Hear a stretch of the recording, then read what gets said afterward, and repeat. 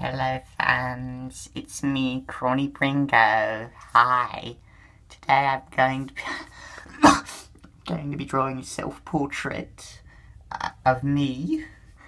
I hope you enjoy. I've got a nice pencil that I found. I'm, I'm going to be using it to draw.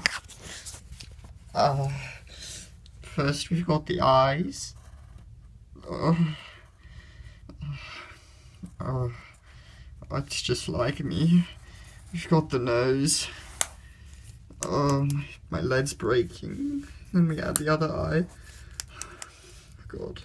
Hurry. Oh, and then we add the mouth. Chin. Please help me.